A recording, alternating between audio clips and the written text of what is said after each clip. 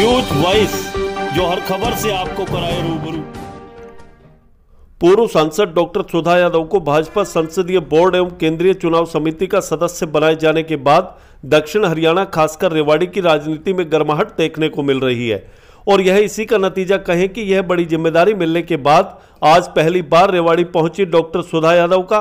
न केवल भाजपा जिला कार्यालय में पार्टी कार्यकर्ताओं ने गर्म जोशी से ढोल नगाड़ों व फूल मालाओं के साथ जोरदार स्वागत किया, बल्कि आतिशबाजियाँ भी की गई। वहीं दिल्ली जयपुर हाईवे से लेकर रेवाड़ी शहर उनकी और उनके ससुराल, गाँव धामलावास में पहुँचने पर ज़बरदस्त अभिनंदन एवं सम्मान समारोह आयोजित किए गए। जगह जगह भारी संख्या में उमड़े पार्टी कार्यकर्ताओं व आमजन के सैलाब को देख डॉक्टर सुधा यादव भी न केवल गदगद नज़र आई, बल्कि अपने आप को यह कहने से नहीं रोक पाई कि भाजपा कार्यकर्ता सदैव उत्साहित रहता है। वहीं इतना भारी सम्मान मिलने पर डॉक्टर सुधा यादव ने पार्टी कार्यकर्ताओं और क्षेत्रवासियों का आभार जताया। भाजपा जिला कार्यालय में पत्रकारों से बातचीत में डॉक्टर सुधा यादव ने कहा कि चुनाव लड़ने को लेकर अभी उनकी कोई रुचि नहीं है। हाँ संगठन को मज़बूत करना उनकी पहली प्राथमिकता है। कांग्रेस की हल्ला बोल रैली को लेकर पूछे गए सवाल के जवाब में डॉक्टर सुधा यादव ने कहा कि एक तरफ़ कांग्रेस पार्टी बिखर रही है तो दूसरी तरफ़ कांग्रेस भारत को जोड़ने की बात करती है। और कांग्रेस ऐसे समय में रैलियाँ कर रही है, जब पार्टी का जनाधार पूरी तरह खिसक चुका है। या ये कहें कि कांग्रेस में खोने के लिए अब कुछ बचा नहीं है। इस दौरान भाजपा जिलाध्यक्ष हुक्म चंद यादव के अलावा हरको बैंक के चेयरमैन डॉक्टर अरविंद यादव, पूर्व मंत्री विक्रम ठेकेदार, प्रदेश संयोजक सतीश खोला, वीर कुमार यादव, बाल कल्याण परिषद हरियाणा की उपाध्यक्षा पारिशा शर्मा सहित भारी संख्या में पार्टी कार्यकर्ता मौजूद रहे। रेवाड़ी से न्यूज़ वाइस के लिए संजय कौशिक के साथ अजय सागर अत्री की रिपोर्ट। मैं सभी कार्यकर्ताओं का जिला अध्यक्ष जी का और उनके साथ में पूरी टीम का आभार व्यक्त करती हूँ। आज पहली बार मेरा रेवाड़ी से गुजरना हो रहा है और अपने गाँव धावलावास में भंडारे का आयोजन है, वहाँ पर जा रही हूँ। तो स्वाभाविक है कि ज़िले के कार्यालय में आना मेरा दायित्व भी है और कार्यकर्ताओं का जो उत्साह और मन है, उसके लिए मैं उनकी आभारी हूँ। कार्यकर्ता में आपकी नियुक्ति के बाद लगातार देखा जाए तो उत्साह देखा जा रहा है। किस तरह से देखते हैं इसको? किस तरह से राजनीति में आज हरियाणा की राजनीति किस तरह से प्रभाव देखिए, भारतीय जनता पार्टी का कार्यकर्ता सदैव उत्साहित रहता है। और पिछले सात आठ वर्षों के अंदर यदि आप देखेंगे तो संगठन का काम भी नीचे तक बहुत बड़ा है और सरकार के कामों को लेकर के भी कार्यकर्ता नितत अनेक कार्यक्रम करता रहता है और आज जो कार्यकर्ताओं ने सम्मान दिया उसके लिए मैं आभारी हूँ। आज दिल्ली में कांग्रेस की हल्ला बोल रही है? देखिए कांग्रेस एक भारत जोड़ो अभियान भी चला रही है। अपनी पार्टी बिखर रही है भारत को जोड़ने की बात कर रही है। ऐसे समय में वो रैलियाँ कर रही है। जिस समय उनका जनाधार पूरे तरीके से खसक चुका है और मुझे नहीं लगता कि कांग्रेस के पास में आज कुछ बचा है।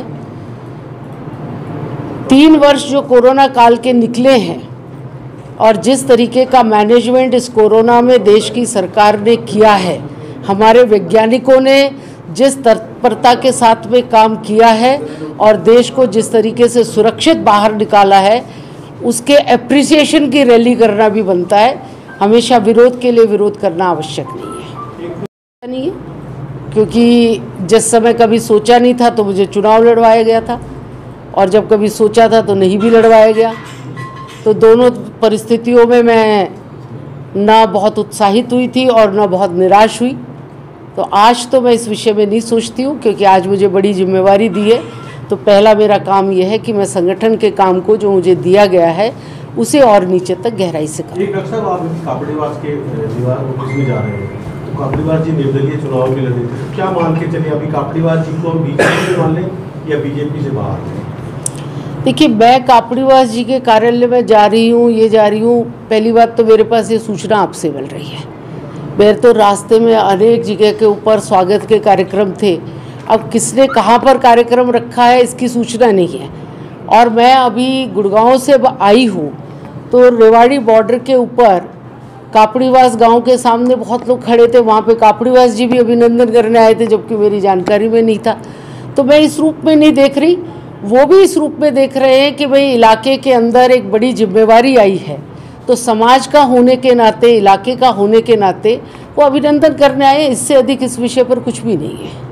दो हज़ार चौबीस हम किसी को नहीं मानते, लेकिन भारतीय जनता पार्टी चुनाव की तैयारी सतत करती रहती है। हम अपना वोट बैंक और कैसे बढ़ाएँ? जहाँ पर हम कमज़ोर हैं, उसको हम मज़बूत कैसे करें? लोग और अधिक हमारे साथ में कैसे जुटे?